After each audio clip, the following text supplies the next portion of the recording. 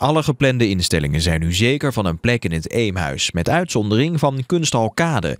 De SP-fractie vindt dat het college het besluit had moeten uitstellen totdat het onderzoek naar de kostenoverschrijding helemaal was afgerond. Als ze vinden dat het nodig is om nu beslissingen te nemen en niet te kunnen wachten tot de onderzoeken zijn afgerond, de gemeenteraad bij elkaar roepen, compleet informeren, zodat ook de volksvertegenwoordiging zelf kan zien welke afwegingen er worden gemaakt.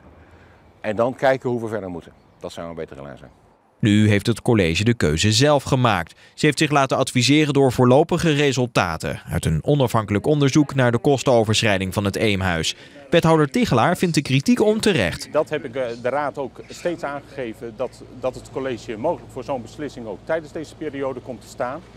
En uh, dat heeft zich gisteren voorgedaan. Dat besluit hebben we genomen. En ik heb de raad toen ook steeds toegezegd dat we de raad daarover direct zouden informeren. En dat hebben we ook na, zijn we ook nagekomen. SP-fractievoorzitter Meijer laat het er niet bij zitten. Nou, wij gaan uh, in ieder geval uh, in contact met andere partijen. we zullen ons punt sterk maken. En wij vinden dat dat zo op deze manier in ieder geval niet kan. Het onderzoek naar de hoge kosten van het Eemhuis moet eind oktober helemaal zijn afgerond. En dan wordt besloten wat er met Kade gebeurt.